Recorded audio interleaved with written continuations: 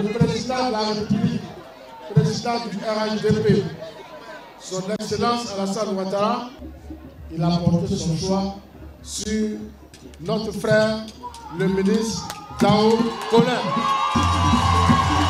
Dao Paulin Claude est ainsi mis en selle par le RHDP pour la conservation de la mairie d'Atekoubé.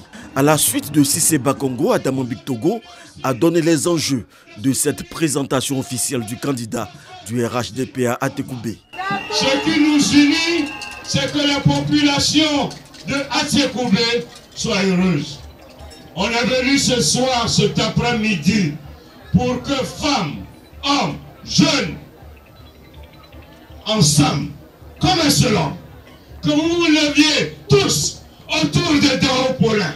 Dao Paulin Claude mesure l'ampleur de la tâche à lui confier et entend relever le défi. Le président du RHDP nous a demandé d'aller au combat. Et je voudrais dire que ce combat, nous l'acceptons. Nous l'acceptons d'autant plus que sous son leadership, notre modeste commune a changé. Est-ce que dans ce quartier, nous avions un collège? Non. C'est grâce à la Ouattara, nous avons aujourd'hui un collège à la cité Fermont. Dès l'année prochaine, on aura 14 km de bitume. Est-ce que nous ne devons pas nous mobiliser pour apporter un soutien franc au président Alassane Ouattara?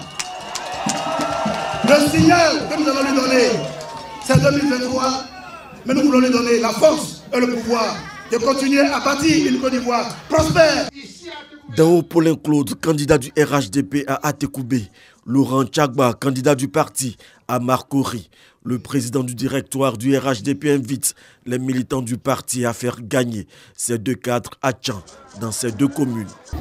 Et je voudrais donc vous dire merci à Tchekoubé de nous avoir donné deux fils de grande valeur et je vous demande de les soutenir. Les militaires HDP ont marqué leur soutien au choix du parti et entendent jouer pleinement leur partition pour la conservation de la mairie d'Atekoubé.